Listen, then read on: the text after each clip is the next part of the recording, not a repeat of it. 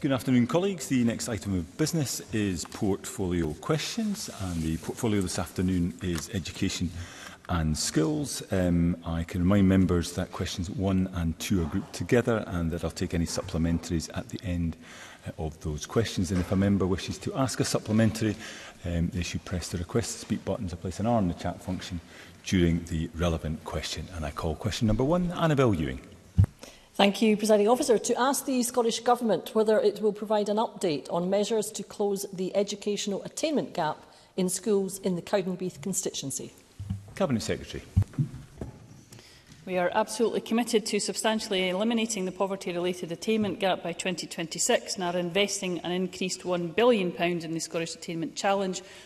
over the course of this parliamentary term to do that. Schools in Fife are receiving over £10.4 million in pupil equity funding in 22-23, with allocations confirmed over four years, whilst Fife Council will also receive another £8.5 million strategic equity funding over four years. These long-term commitments will support head teachers and local authorities to develop their short and longer-term plans to close the poverty-related attainment gap.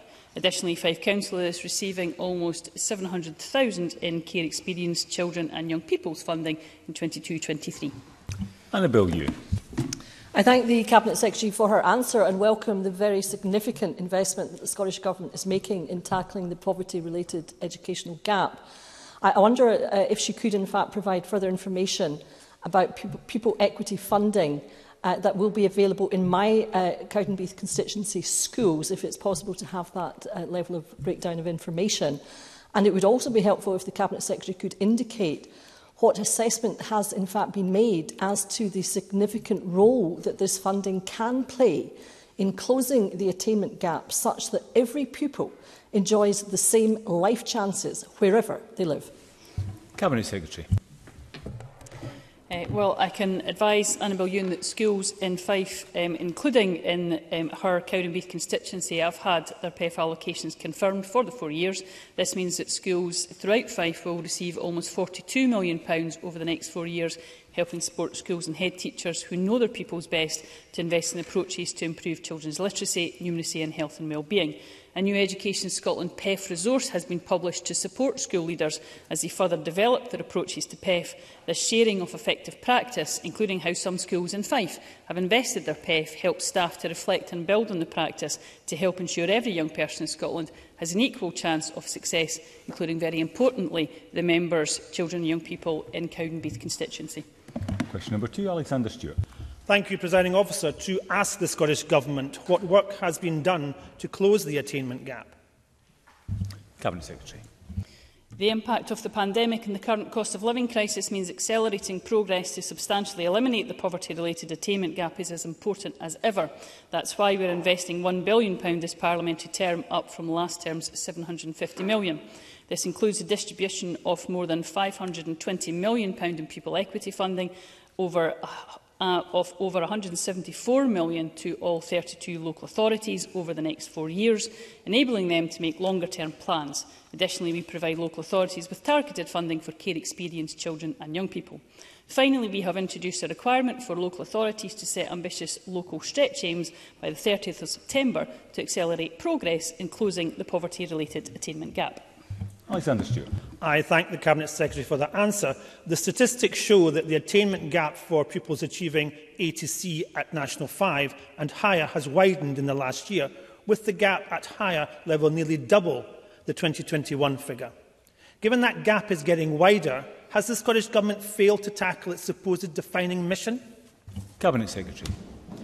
Well, I would urge caution in comparisons um, from the 22 and 21 um, results because, as members will know, there was an entirely different way that uh, young people were assessed because of the pandemic. But we have seen progress and positive signs in tackling the poverty-related attainment gap. So, for example, since 2009-10, at SCQF Level 5 or better, the proportion of school leavers attaining one pass or more has actually increased by 19.5 percentage points for the most deprived areas. That shows that progress has been made, but we are aware that there is much more to do. That's exactly why we have been increasing investment in this area. Number of supplementaries. First, Michael Mara. Uh, thank you, President Officer. The Cabinet Secretary has already cut vital attainment funding for the poorest communities in Scotland, but we do know there's another £43 million of cuts coming to the education portfolio. Can the Cabinet Secretary guarantee to the Chamber today that attainment funding will not be cut as part of that process, and especially for the poorest communities which have suffered the brunt of the cuts that she's most recently made. Cabinet Secretary.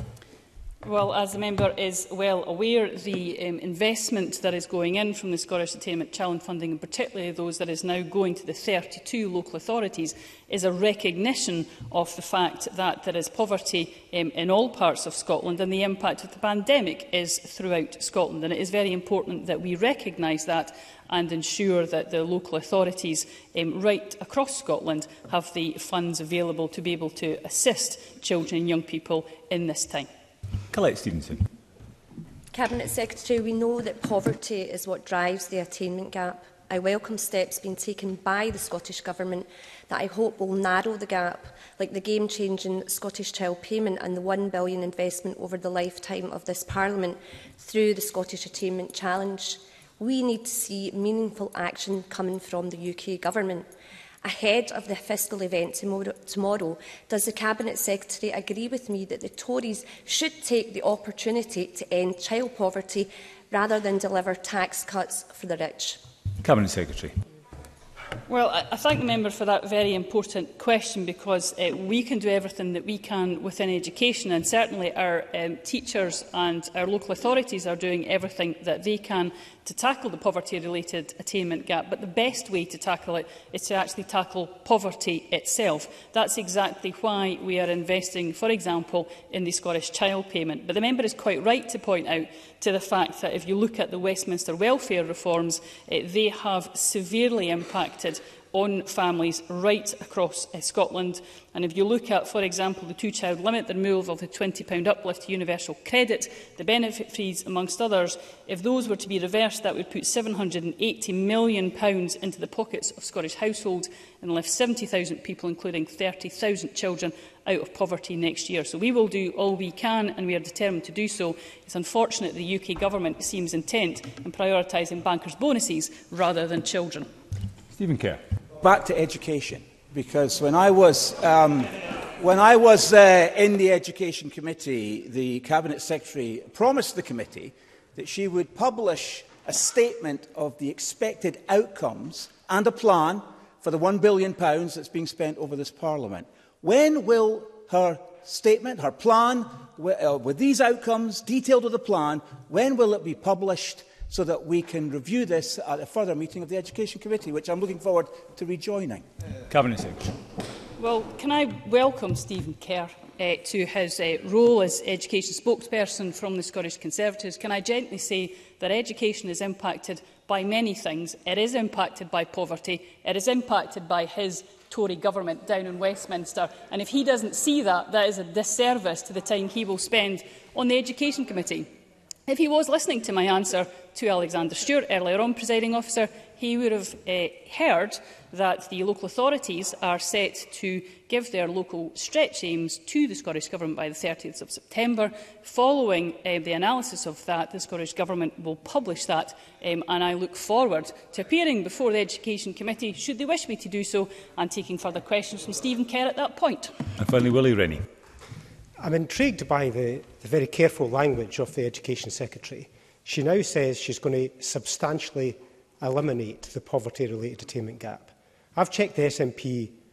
website. It's very clear it wants to close the poverty-related attainment gap.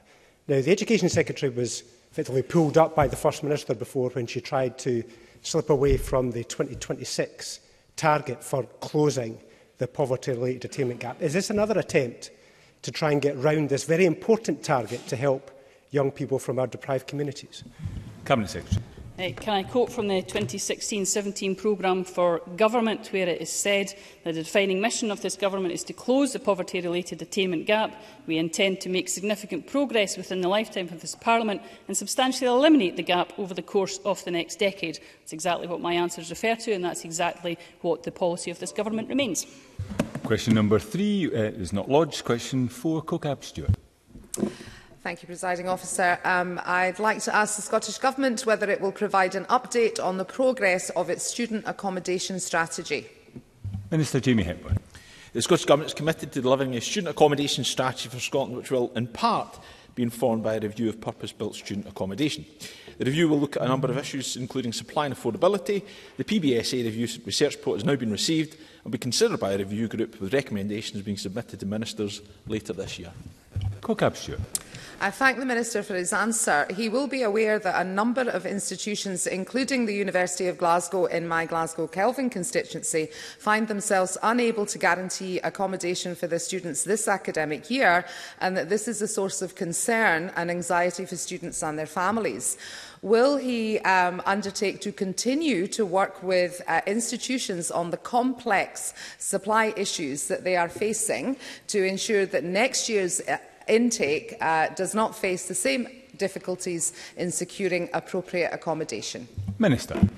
Yes, I, I can give uh, that commitment. I'm aware of the challenges that uh, some students uh, going to University of Glasgow have encountered in uh, attending uh, the university uh, there. I, I should say it's my understanding that all first-year undergraduates who applied for accommodation by the deadline that had been set by the university who do not live within an hour's commute have now been offered Eh, accommodation. Uh, uh, I know there are others who have not been eh, able to thus far, and the university continues eh, to work with them. As I've uh, laid out, of course, we have a commitment to our student accommodation strategy for Scotland, and CoCab Stewart and other members can be assured that we will work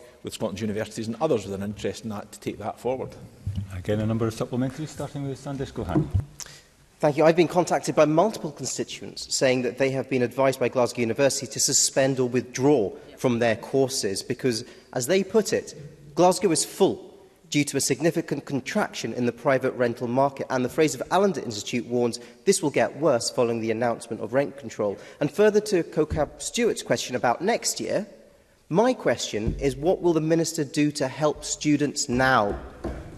Minister. Well, it's interesting to see the, the Tory mass slips in terms of their opposition to rent control, but turning to the specific, uh, the specific uh, point of them. Well, that's, that's what I heard from Mr Gulhani very, very clearly. I'm aware of the issues. We've made commitments to uh, work towards a student accommodation strategy. That's exactly what we'll do. He can be assured that we'll continue to work with universities and with uh, others on uh, this matter. And if Mr Gohani wants to make uh, contact with me directly about any specific concerns, I'll of course be happy to respond. And Martin Whitfield. Thank you, Deputy Presiding Officer. Students have been venting their fury at the lack of accommodation, with this government failing to take any meaningful action to support them. Following the written answer that the Minister gave to me yesterday, Can he agree that the Scottish Government has a substantial additional responsibility under the Children and Young People Scotland Act 2014, the United Nations Convention, Article 27 and Article 29, to our young people who are under 18 who attend university, that they be safe, accommodated and supported. And the evidence is that this is not happening. Indeed, as we've heard, universities are asking them to drop out of their courses. Minister. Of course, we have uh, responsibilities in that regard. I've laid out the work that is underway, the work that we'll take forward. I would, uh, of course, observe, and unless there is a suggestion that this should alter, the Scottish Government isn't directly involved in the provision of uh, housing for uh, students, but of course we do recognise we have responsibilities along the lines that Mr Whitfield have uh, laid out, and that will be at the heart of the strategy we take forward. I'm Beatrice Wishart. Thanks, President Officer. It's been well reported, as other members have highlighted, the serious lack of accommodation for students. Um, island students have also been experiencing major problems, just like their peers on the mainland, and I was actually aghast to hear that uh, the short-sighted suggestion that students should suspend or defer their studies Will the government's student accommodation strategy include plans to guarantee students from Scotland's islands accommodation at their chosen place of study and will it recognise that accommodation is required at UHI Shetland for those studying there too?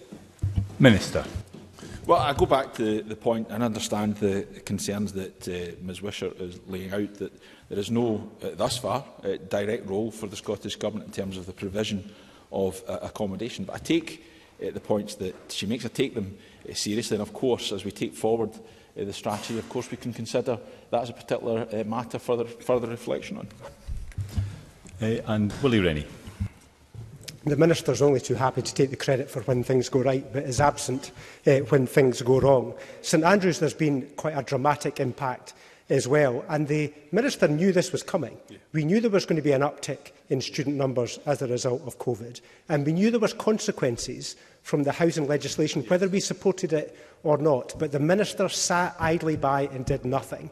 What practical plan is going to make a change now, but also for next year? Because this isn't going away anytime soon. Minister. Well, um, Mr Rennie quite frequently is happy to deride me when I'm apparently trying to take credit for the successes of this administration, but uh, I won't uh, linger on that uh, too much uh, longer. As I've laid out, we have uh, plans to take forward uh, the strategy. We've already uh, taken o, o, on board the purpose-built uh, student accommodation uh, research report. That will be considered further. We'll consider these issues as part of the uh, strategy we take forward. I understand uh, the uh, stresses that are in the housing market right now. Uh, there's a degree to which uh, we are seeking to work through that with in our wider housing policy in terms of uh, tackling short-term lets, uh, for example, to make sure there is increased supply in the private sector. But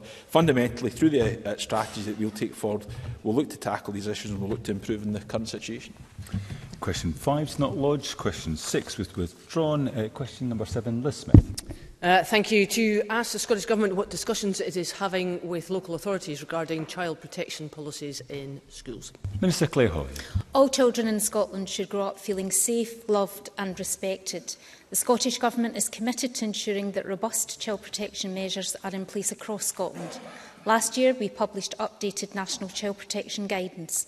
The Scottish Government engages regularly with local authorities on the implementation of consistent good practice on this critical issue. And the National Guidance Implementation Group was set up last September to lead on that activity.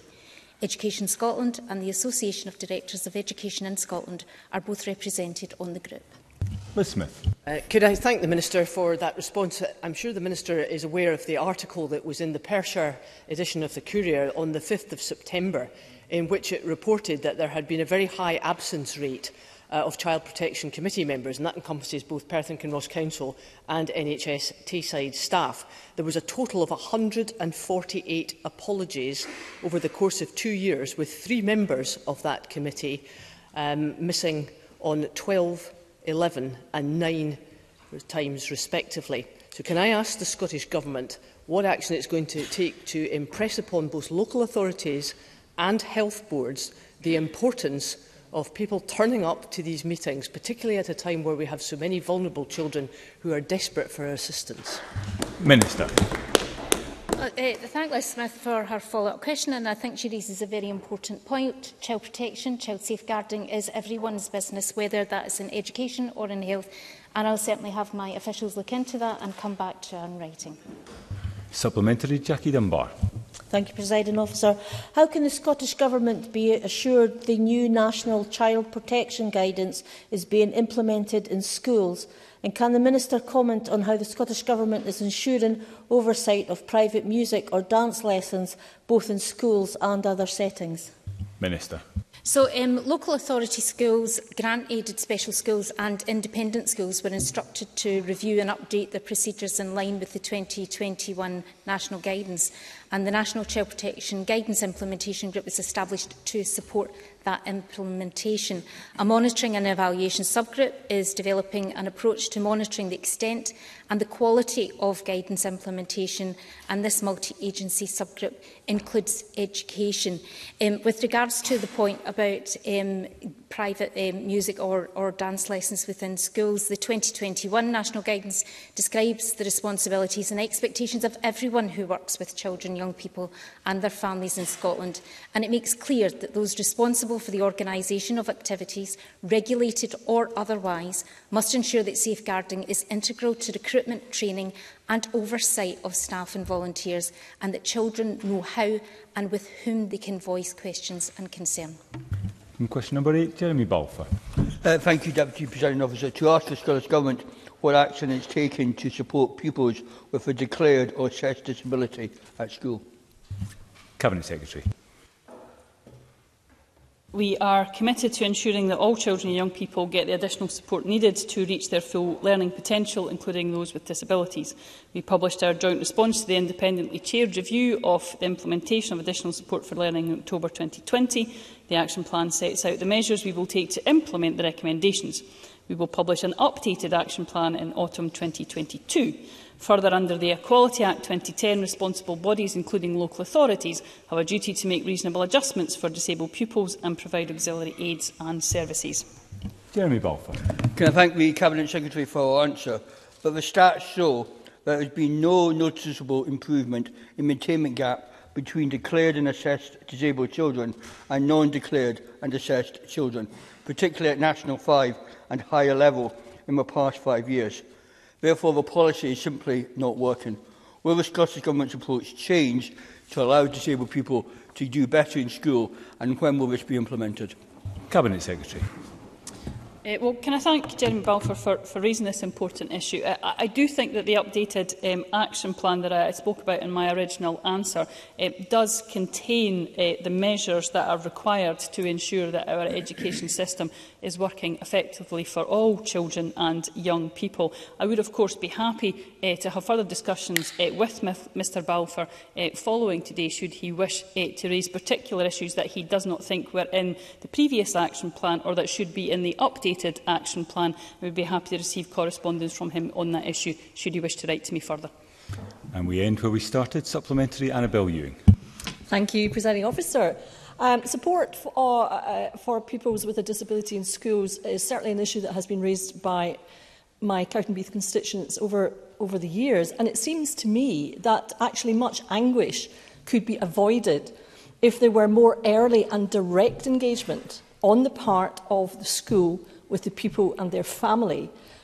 So can I ask the Cabinet Secretary, therefore, what she could do to help to ensure that this indeed happens in schools in my Cowdenbeath constituency and indeed across Scotland? Cabinet Secretary. Well, I certainly um, agree uh, with um, the uh, context that Annabel Ewan has described there it is incredibly important um, that uh, not only schools uh, but everybody involved in the life of a child and a young person has very close uh, discussions uh, with that young person directly and also with the family at the earliest opportunity and importantly continues to provide the support to that family um, even before diagnosis um, is given. Uh, it can be a very difficult time um, for families. It does not don't need to necessarily be as difficult